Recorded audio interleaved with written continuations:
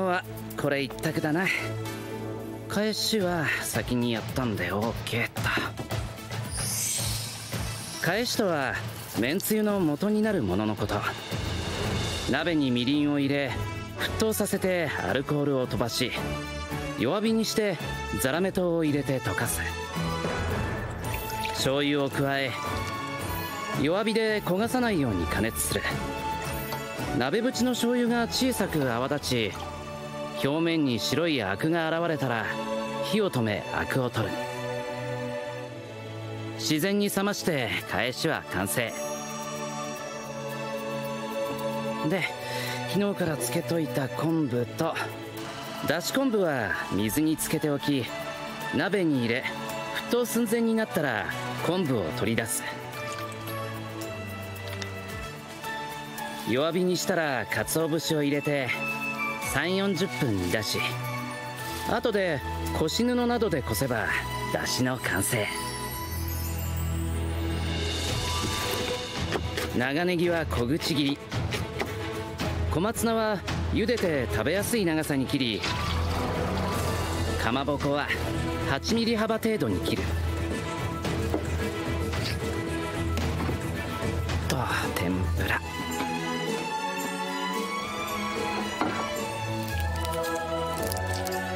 エビは殻と背わたを取り水分を出すために尾の剣先を切り塩片栗粉酒少々でもみ洗いをする。次は衣の準備。卵冷水をよく混ぜ薄力粉を加えてかき混ぜてから衣をつけ170度から180度で揚げていく。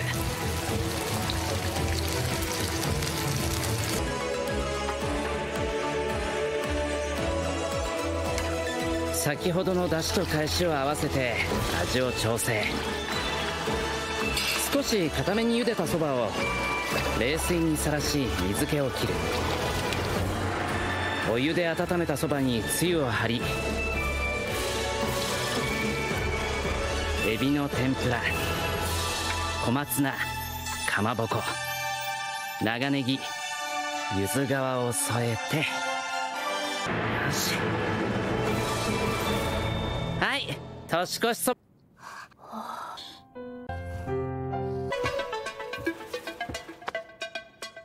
さて俺も始めるかな。まず研いだ米をざるにあげて水気を切っておく。人参レンコンたけのこ水で戻した干し椎茸を切りレンコンは水にさらす。ここで切ったものは研いだ米と一緒に炊飯器の中へ。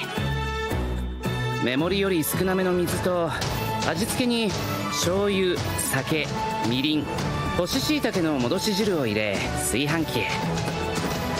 本来は具材を煮分けるんだが今回は炊飯器を使って簡単に。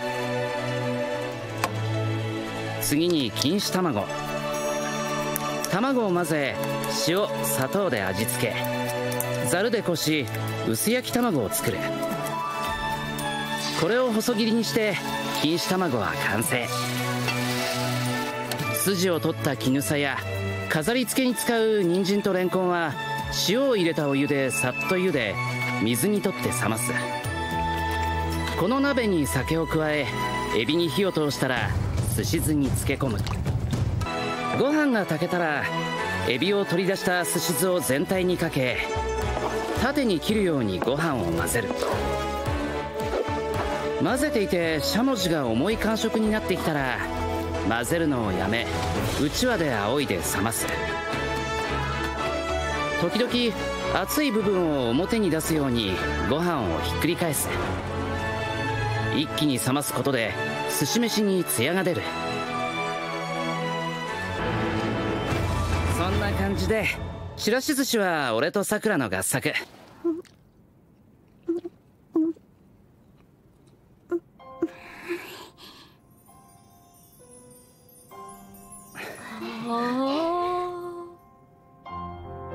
あいただいちゃおっかな。いただきます。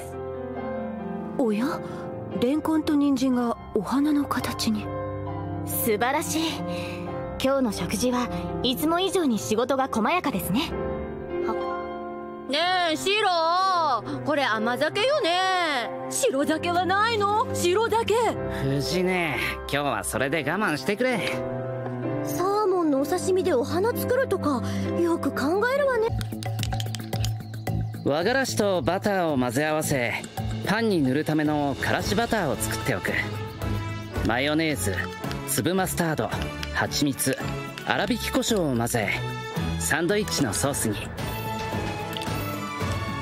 お湯に塩をひとつまみ。こいつは火の通りにくい茎の方から入れ12分茹でる。茹でたら氷水にさらししっかり水気を取っておく。卵は塩で下味をつけスクランブルエッグに。ベーコンは少し多めの油を引き弱火から中火でこんがりと。焼き終わったら余分な油はキッチンペーパーなどで取る。食パンの片面にからしバターを塗り中身をのせていく。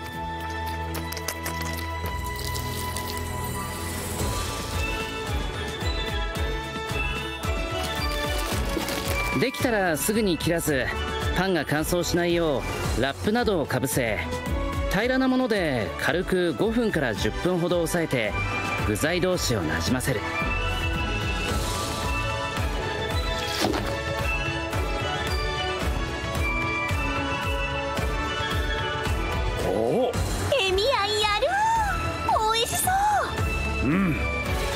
生から料理の腕は聞いていたが猫くんいただこうではないか。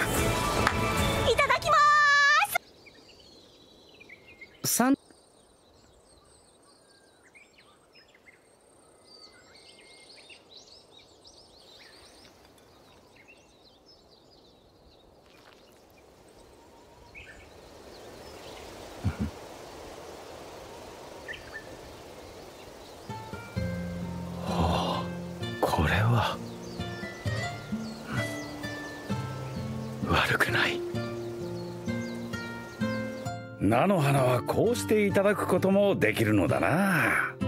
あとはパスタに入れたりコロッケもうまいですね。ねえこれうちのメニューに加えるのはどうだろう？グラタンにタケノコか。私初めてです。俺も初めてだよ。でもきっと美味しいと思う。じゃあ始めようか。はいタケノコはマカロニくらいの大きさで薄切りに。玉ねぎも薄切り。鶏もも肉は一口大に。アスパラは硬い根元部分の表面をピーラーで薄く剥き塩を加えた湯で固めに茹で上げ氷水に落とし食べやすい大きさに切る。マカロニはたっぷりのお湯で茹でる。フライパンに油を引き鶏もも肉玉ねぎたけのこの順に炒めマカロニ水牛乳を加え煮立たせたらシチュー粉を加えて味やとろみを調整。耐熱皿に盛り付けたらアスパラチーズをのせる。最後にパン粉を少々振りかけたらオーブンレンジへ。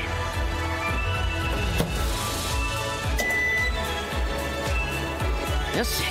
待ってる間にサラダでも作るか。あじゃあ私スープ作りますね。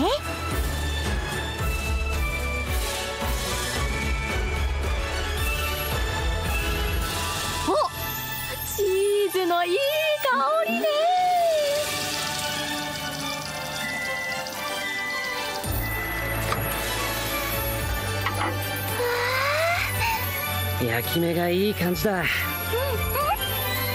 さあできたぞ。グラタンじゃない。さくらちゃんお得意の洋食ね。美味しそう。先輩のアイデアで中身をいつもと少し変えてみたんですよ。ではいただきますうん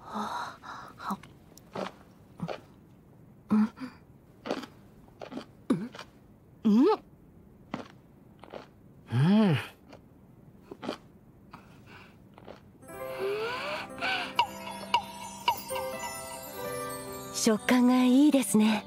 うん。タケノコ合うんだね。お昼にシロが持って帰ってきたあれですね。こういう形の。そうそう。旬のものはやっぱうまいな。グラタンにタケノコ入れるなんてシロも粋なことするわね。あの先輩？ん？タケノコ少しいただくことできませんか？まあいいよ。たくさんもらったし。ありがとうございます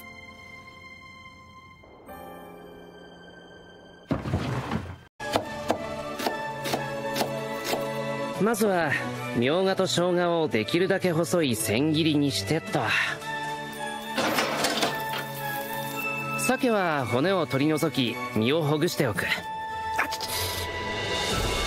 あとは少し塩水につけたきゅうりをもみ水で洗ってから軽く絞っておく。遠坂のはこれで OK 俺とセイバーはこれじゃ足りないからもう何品か作るか。はい。冷やし茶漬け。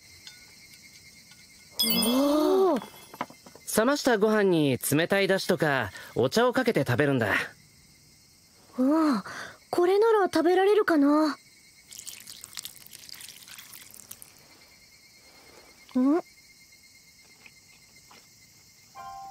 おいしい。さっぱりしていてすごく食べやすいええいい出汁が出てます。鮭のほぐしたのとかみょうが生姜塩昆布ごま味噌いろいろ用意してみたから好きなものを入れて食ってくれ。もっと暑い日なら氷を入れてもうまいんだ。食べちゃった。それはよかった。食欲なかったのは本当よ？遠坂おかわりはまだあるぞおかわり。シロ私も。了解。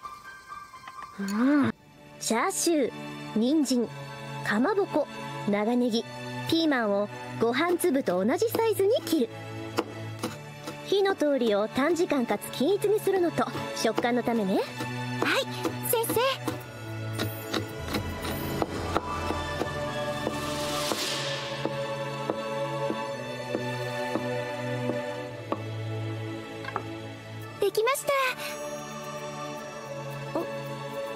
しましたか？うん何でもない。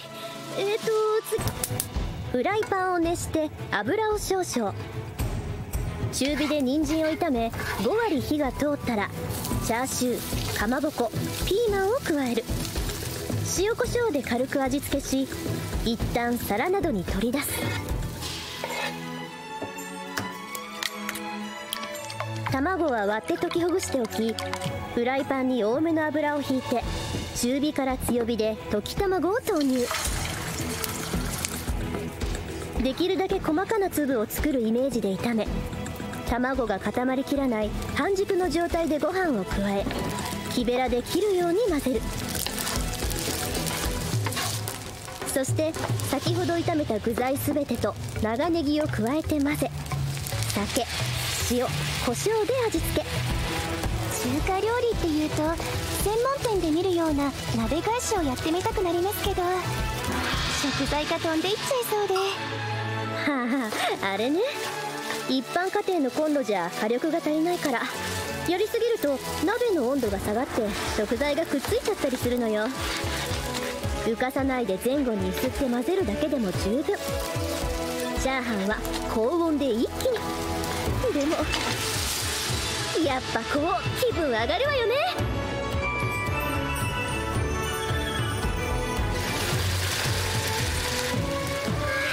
食欲食欲をそそる香り。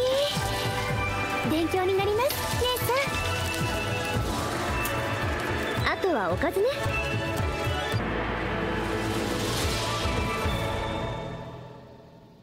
おおうまそうだ。当然よ。私が作ったんだものさくらにも手伝ってもらったしね。どうぞいただいちゃってください。うーんシンプルにうまい。ご飯もベタつかずパラパラ。これが難しいんだよな。はうん。そうでしょうとも。こんなにうまく作れるかちょっと自信ないですけど私も今度作ってみるので試食お願いしますね先輩。ついにさくらも中華の道を。それに姉さんにはもっといろいろ教えてほしいです。そそう？はい。おー。赤い遠坂キャスターご要望の煮っころがしに小松菜の和え物と味噌汁。メインは今が旬のサンマだな。脂が乗っててうまいぞ。食事はバランスも大切というものね。それも教えてほしいわ。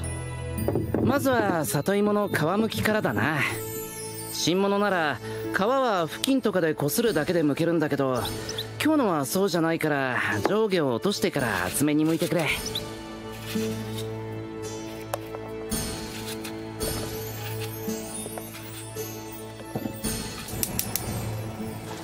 里芋はぬめり取りのために一度下茹でをする。沸騰したお湯に里芋を入れ34分茹で。そのまま流水にさらしながら芋のぬめりを洗い流す。鍋に里芋と里芋がかぶる程度の出汁を入れ火にかける。煮立ったら砂糖酒みりんを加え落とし蓋をして煮汁が少し煮立つ程度の弱火で56分。醤油を加えさらに56分煮詰めていく。煮汁が少なくなったら焦がさないように鍋をゆすりながら里芋に汁を絡ませ艶が出てきたら完成。これが里芋の煮っころがし。次サンマ行くぞ。丸一尾の魚を扱う時は必ず水洗いをしてから下処理をするんだ水で魚のぬめりなどを洗い流したらよく水気を取る。臭み抜きのためサンマ全体に軽く塩を振り10分から15分放置。水気が出てくるのでこれを拭き取る。サンマの皮に軽く切れ込みを入れ今度は味付けのため塩を振り焼いていく。こ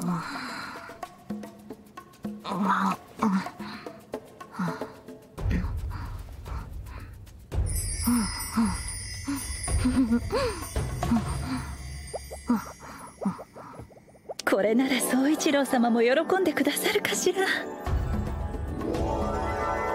なるほど。小松菜は茹でたら氷水に落としてはい。おひたしに入れる油揚げは油抜きするんだ。油抜き？味噌汁は沸騰させないこと。沸騰させると香りと風味が飛んでしまうから。ちょちょっと待って坊や。もう少しゆっくりお願い高速栄唱じゃないんだから。一気に言い過ぎたな。えっと作り方メモしておくんで。よし。あとは盛り付けて完成です。いただきます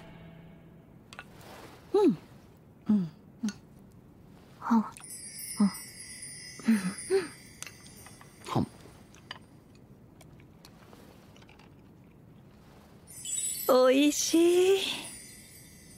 里芋一晩置くともっと味が染みて美味しいだろうな。でではシロ食べきってはいけませんね。魚もふっくらとしていて和え物もいいわ。坊や本当に料理上手ね。ありがとう坊や、宗一郎様に作って差し上げるのが楽しみです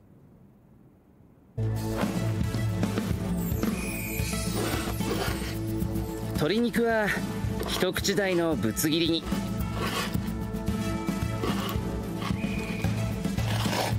ニンニクと生姜をすりおろし下味用の醤油塩胡椒酒を合わせる。肉をそれにつけてよくもみ5分ほど置く。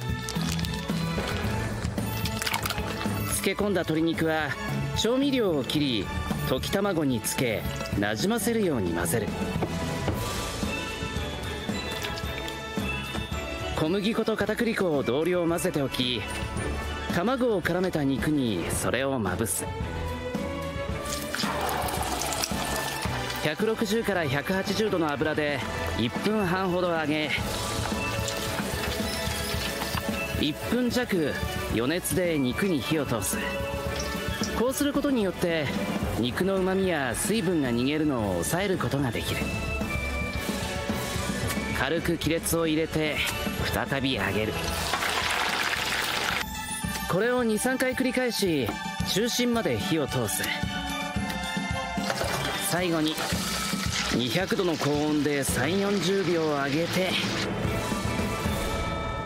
完成。おお唐揚げか。これはありがたく。いただきます。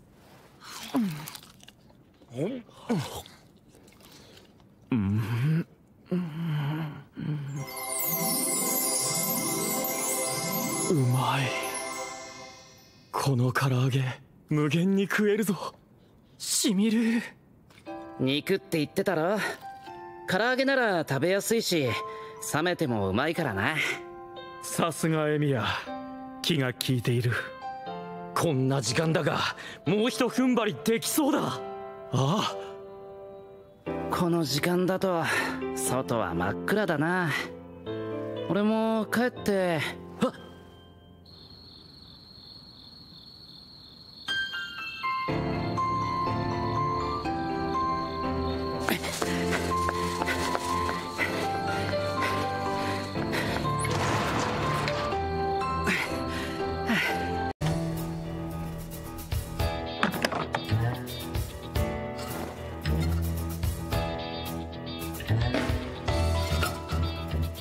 オムライス。承った。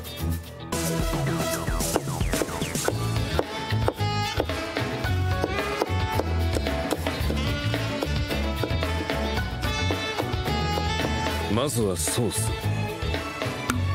ニンニクをみじん切りにしたらオリーブオイルを入れ炒める。トマト缶砕いたコンソメを入れ塩。胡椒砂糖を加えバターを溶かして完成。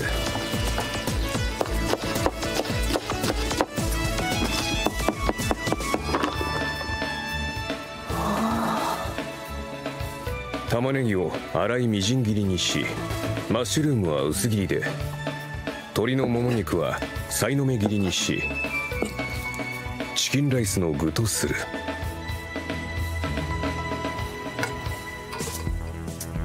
フライパンでもも肉を炒めたら玉ねぎマッシュルームを加えて炒める。塩粗挽き胡椒砕いたコンソメにケチャップを加え全体になじませながら酸味を飛ばす。白米を加え切るように混ぜ焦がさないようにソースをなじませる。最後にオムレツオリーブオイルとバターを加えたフライパンに塩を加え溶いた卵を入れる。箸でかき混ぜながらフライパンを揺らし半熟状態を作り半熟になったらフライパンの端に寄せ形を整え天地を変える。卵の閉じ口を上に持ってきたらキンライスにのせ。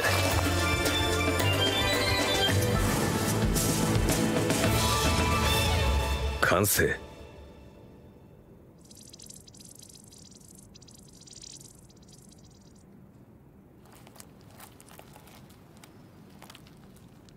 おおふわふわのオムライス。ではいただきます。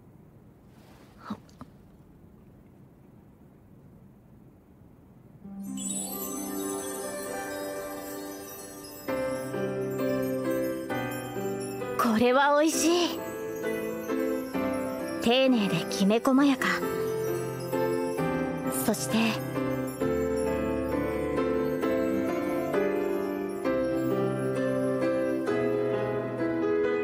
優しい味がします。これをアーチャーが作るとはやはりあなたも料理をするのですね。気に入ってもらえて何よりだ。納得の味です。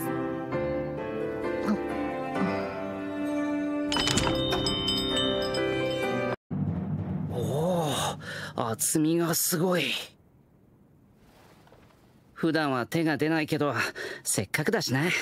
奮発してしまった。まず常温に戻した肉に少し多めの塩を振り叩いたニンニクとともに肉によくすり込んだらラップにくるんで15分から30分放置し味をなじませる。それが終わったらフライパンに油を引き弱火で肉にすり込んだニンニクを炒め香りを出す。ニンニクを取り出し強火にしたら肉を投入。4面を2分ずつ焼きしっかり焼き目をつける。蓋をして火を止め余熱で5分火を通す。肉をひっくり返し再び蓋をしてごく弱火で34分加熱。串を肉の中心まで刺し数秒後に唇の下に当て串が温かく感じれば火が通っているサイン最後に粗挽き胡椒を肉全体に少し強めに振り焼き終わった肉をすぐにラップとアルミホイルで包んで30分ほど休ませたら完成。あとはフライパンに残った肉汁をソースに使っておしまいかな。本当はヒレ肉と行きたいところだけど桁が。そんなすごく美味しいですよ。はあうん。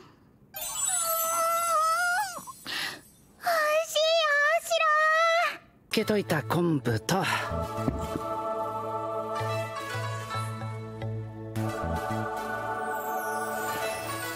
いきますか。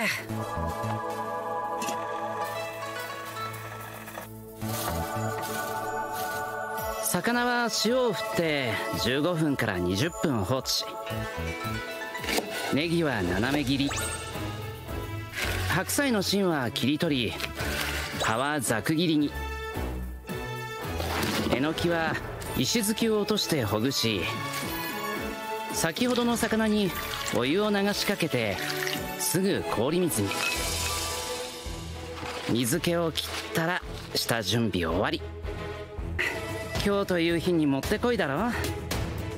それなら先輩明日の朝食に買ってきたものなんですけど。アサリがあるな。これも入れてえっとライダーは寒いのが苦手で。沸騰したら昆布は取り除いて醤油みりん生姜酒塩を入れる。具はすぐ火が通るもの以外を先に入れ春菊長ネギあさりなんかは仕上げに入れる。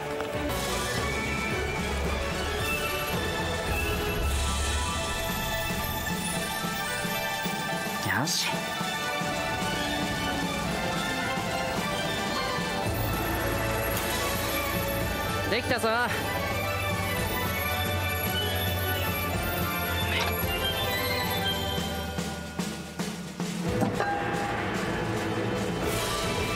お待ちどうさま。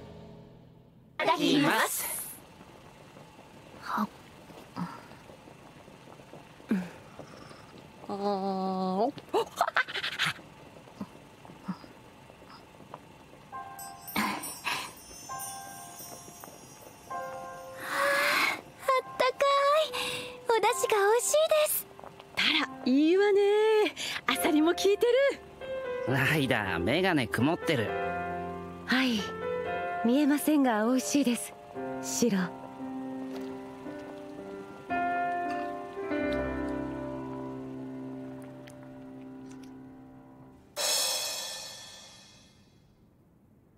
本日の締めです。ご飯を水で洗ってぬめりを取り水気を切る鍋に残った具は一旦取り出してアクを取りご飯を入れ弱火から中火であまりかき混ぜないようにする。溶き卵で閉じて三つ葉を入れたら雑炊完成。これがシロ鍋の時はこれでしょう。いいのよね。締めは欠かせないですね。卵もふわふわです